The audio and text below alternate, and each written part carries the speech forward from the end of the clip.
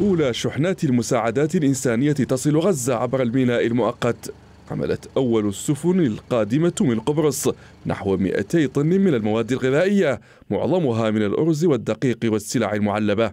أما ثاني السفن فبدأت الاستعداد لنقل نحو 300 طن من الأغذية إلى غزة. جرت عملية شحن ونقل هذه المواد بالتعاون بين دولة الإمارات ومؤسسة المطبخ المركزي العالمي وجمهورية قبرص. الخارجية الإماراتية قالت إن الوضع الإنساني الكارثي المتفاقم في غزة يتطلب ضمان تدفق المساعدات فورا وبأمان ودون عوائق وعلى نطاق واسع ومستدام. الجيش الإسرائيلي انتشر في الموقع المقابل للميناء العائم وقال في بيان إنه يعمل لتأمين المنطقة.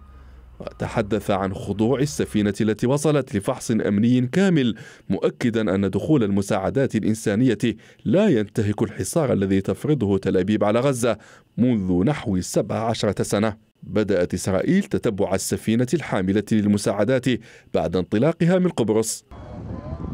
وعلى سواحل غزة تتواصل محاولات إيجاد مواطئ أقدام للمساعدات الإنسانية الواصلة بحرا. ضمن مبادرة عالمية دعت إليها الولايات المتحدة لإنقاذ مئات آلاف الفلسطينيين من مجاعة محدقة.